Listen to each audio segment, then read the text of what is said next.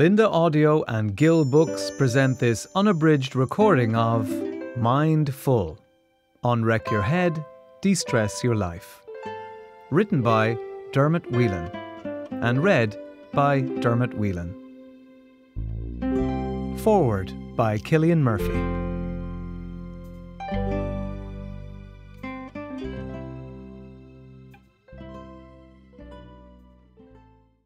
After I read this book and put it down, it had fixed whatever block I had harboured towards the concept of meditation. Meditating was something I had tried several times over the years, something I wanted to understand, but in the end, I had convinced myself that I wasn't one of those people. Now I realise there is no prerequisite character type, it's just for people. Full disclosure Dermot Whelan has been a pal of mine for over 20 years now. Let me tell you a little bit about him if you don't already know him from the radio or the telly. He has always been funny. I mean, funny to the point of thinking you might not be able to breathe because you're laughing so much. He is also an excellent conversationalist, an average drummer, a dad, a middle aged skateboarder, and someone experiencing the same stresses and pressures of being alive that we all experience. Above all, he is a generous, kind, and curious human being. And I think it is that curiosity that led him on the journey that you will read about in this book. Curiosity is something that can fade as we get older. As we do our bit, accept our lot, knuckle down to the business of life, etc., etc. But it can be a very powerful thing if it is nurtured. For Dermot, it led him to meditation, becoming a teacher, and writing this book.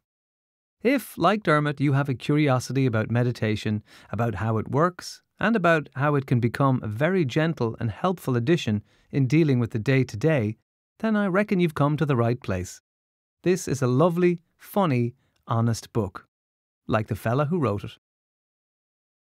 By Cillian Murphy.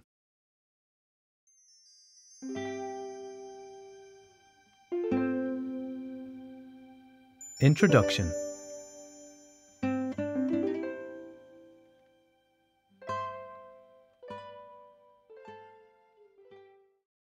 A year and a half ago, I was performing stand up comedy to 10,000 people at Dublin's Three Arena. If you had told 16 year old me that this was in my future, I would have spilled my super can of Coke all over my bubble toe Doc Martens. But there I was, looking out through the stage smoke at all these little heads looking back. I'd got my best mate Dave with me, and we were on the bill with a bunch of other comedians.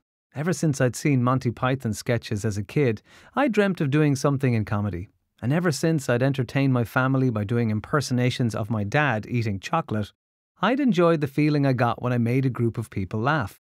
But this wasn't my sitting room, it was the Three Arena. It's where I saw my first concert as a young teenager. Huey Lewis and the News. Even if they were woefully uncool, after hearing The Power of Love on the Back to the Future soundtrack, I knew I was a fan for life. In fact, I still have the badge I bought at the merch stand that night. I never dreamt, though, that I would someday stand on the same stage as Huey and our His News. Yet there I was, all those years later, in a position any performer would be envious of, taking in the sheer size of the venue and what it took to get me here. And it was fine. Like, just grand. Not overwhelming, not life changing, just grand. I couldn't understand it. Little bits of we should have been coming out with the excitement of it all, but it felt like I was in Harvey Norman's bedding section browsing for a new mattress. The set went well. They were laughing. I know because I was aware of the slight delay in the laughter coming back to me in an arena that big. But as I got into my car after the show, I remember wondering why I didn't feel any real buzz. What was wrong with me? The reason any comic does those terrible gigs where you bomb like hell and regret all your life choices is so that maybe one day, long into the future, you might get a shot at a stage like the Three Arena. Yet there I was, driving home and already thinking about what biscuits we had in the cupboard. I had no answers to why I felt that way until the following Tuesday. I was giving a talk on stress and meditation in a well known insurance company. I was relatively new to corporate work as a meditation teacher. Sure, I had done hundreds of corporate shows as a comedian, but this was a new departure in the wellness area, and I really wanted it to go well. There were 30 people there, and it seemed a lot. The room was shallow but ridiculously wide, and I remember thinking if this was a comedy gig, I'd have been doomed from the start. I gave my talk, and it went really well. The staff seemed to engage with what I was saying, and technically, nothing disastrous happened. I gathered up my laptop and bag and headed for the door.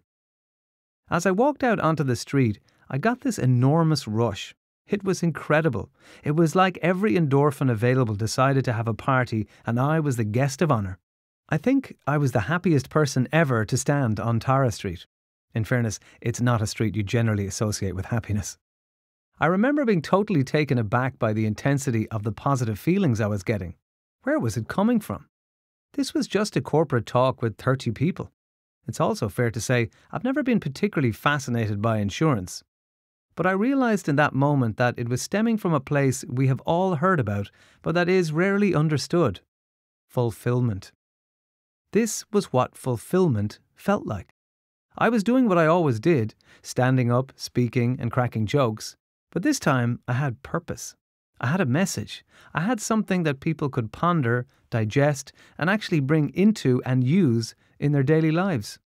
I'm not trying to undermine or lessen the power of humour for helping people when they're struggling, but I was clearly looking to communicate on a much deeper level. That day, I realised that I wanted to bring more of me to the table. There is so much satisfaction and joy in making people laugh and feel good, but I also wanted to share some of the things that don't make us laugh all the time, and to use humour to shine a light on the parts of us that we often ignore or fear. This was why chatting to 30 people in an office gave me more of a buzz than 10,000 people in an arena. There was more of me present. And when we bring more of us to any moment, the experience is so much richer and, well, fulfilling. A sense of fulfillment comes when we can turn up to any experience with so much of our true selves packed in there that we no longer depend on the outside world to give us what we're looking for. Sometimes the dry ice and giant stage can be a distraction from where we're actually trying to end up, happy and content in ourselves. I wrote this book because I wanted you to see that it takes very little to bring us to that sense of fulfillment. It doesn't require you to blow up your life and move to Nepal. Tapping into a little bit of silence within yourself may eventually lead you to quit your job and find something more fulfilling, but it may also help you to reignite your passion for the job you have right now. Breathing a bit slower and deeper could create the space for more love in your life, or it could remind you that you have all you need right in front of you. Meditation is not a magic wand or a nuclear bomb. It won't instantly make you into Oprah Winfrey or Stephen Hawking, and it won't suddenly flip your life on its head. What it will do, though, is ease you out of the stress response long enough for you to see what you really need. I also wrote this book because people kept asking me to recommend a book on meditation, and I couldn't really find one that I'd like to read. Some are too sciency and others are too religious.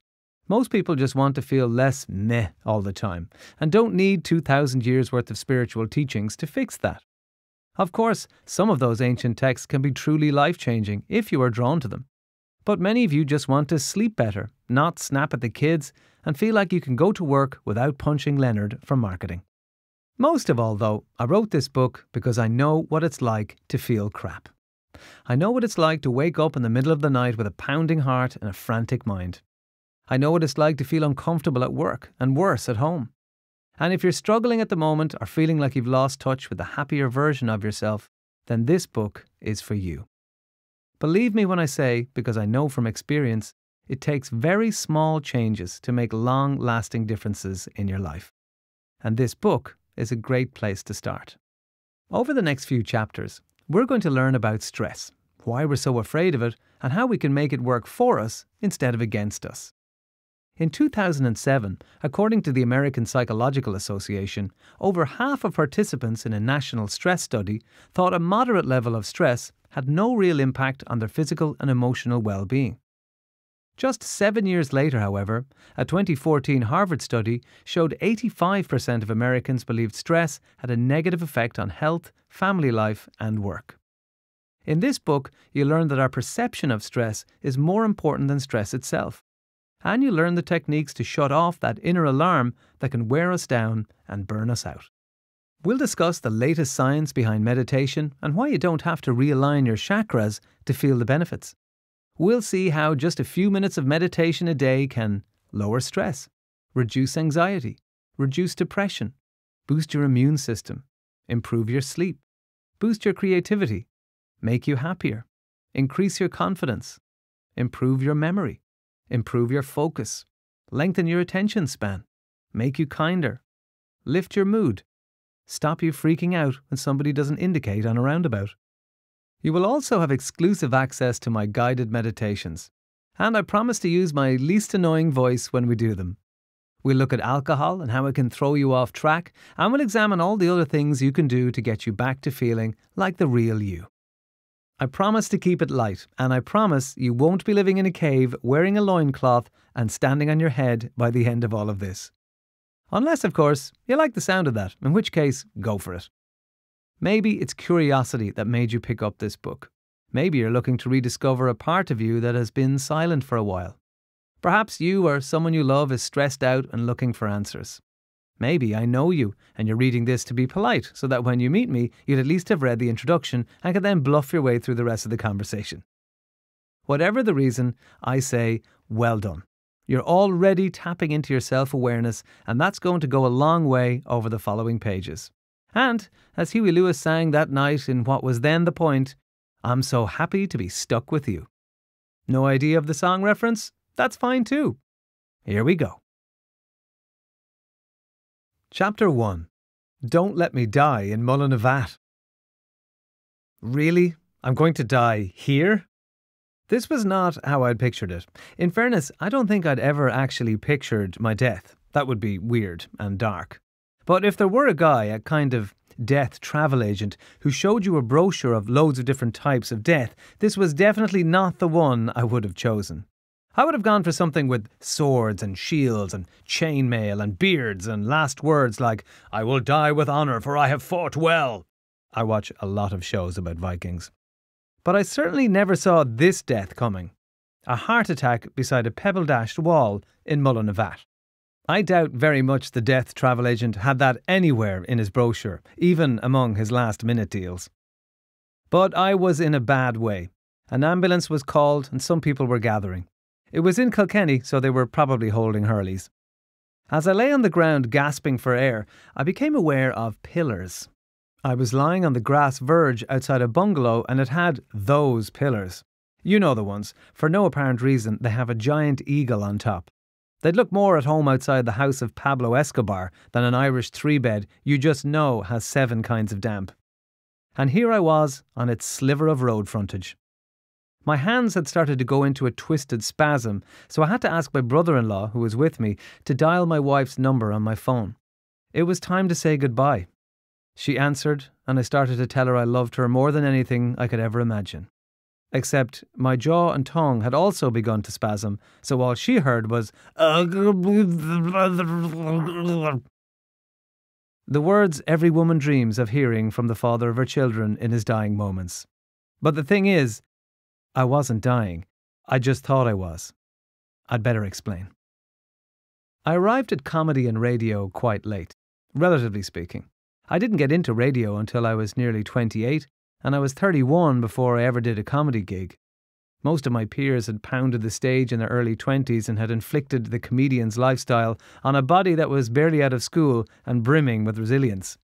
But I had spent my time in university as a wannabe archaeologist and most of my 20s working behind the scenes on film sets.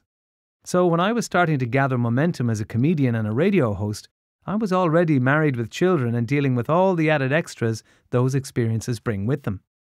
I'm not entirely sure why I studied archaeology. I think it had a lot to do with seeing Raiders of the Lost Ark when I was 11. Harrison Ford was so effortlessly cool as Indiana Jones, and I wanted a piece of his whip cracking action. Pretty soon, I learned that actual archaeology is nothing like those movies. If Raiders of the Lost Ark had been based on Irish archaeological reality, the film would have been two hours of Harrison Ford sitting in a damp ditch beside a half built service station. More Indiana Jones and the Maxol Garage of Doom. Indy, head to toe, in Penneys rain gear, fights tirelessly against his relentless foe, Drizzle. My experience certainly wasn't all gold statues and bejeweled staves, but I did get to go on a dig in Sicily. I remember getting very excited when I found a piece of glass. It was worn and faded, but light green and quite beautiful. I plucked it from the soil and ran to my college professor, who was busy sitting down and sweating. Look, look, look what I've found. Well, well, well, he said as he examined the sparkling gem. This really is a find. What is it? How old is it? 300 BC? Close, he said. It's from the 1980s. It's a piece of a 7 Up bottle. Now get back to work. He was a jolly Englishman, but he didn't pull his punches. He was quite overweight, lived for red wine and steak, and regularly overindulged. On another trip to northern England and Wales, we were at one of the few surviving towers along Hadrian's Wall, the great Roman line of defence against the savage Celts. He was describing the history and fate of the building with great reverence and detail. Then, on finishing his on site lecture, declared, Now, if you'll excuse me, I'm going to be sick. And he threw up last night's dinner all over Emperor Hadrian's pride and joy. I remember falling in the grass, I was laughing so much. No one else thought it was funny, and they scolded me for being so uncaring. But I found the whole incident brimming with comic timing, and it was, in a way, perfectly fitting for a hangout for Roman soldiers. They loved puking so much they invented the vomitorium. Although I didn't realise it then, I had unwittingly plunked myself into one of the most mindful careers there is. The process of archaeology requires great patience as you slowly peel away history, layer by layer. Attention to detail is very much at its core, and hours can pass in an instant as you repetitively sweep away at the earth. You're out in nature, deep in the soil, and free from distraction. I, however, was 21 and didn't really give a shit about all that, so I smashed everything with a pickaxe. I was not a patient archaeologist at that age and certainly had no desire to explore mindfulness. I remember desperately smearing mud on a cracked Roman pot I had just smashed in a vain attempt to make a fresh crack look like it happened 2,000 years ago. My puking professor saw right through my scam and was not impressed. In reality, Indiana Jones would have been fired and excommunicated from the archaeological fraternity. We hope you enjoyed this preview. To continue listening to this audiobook on Google Play Books, use the link in the video description.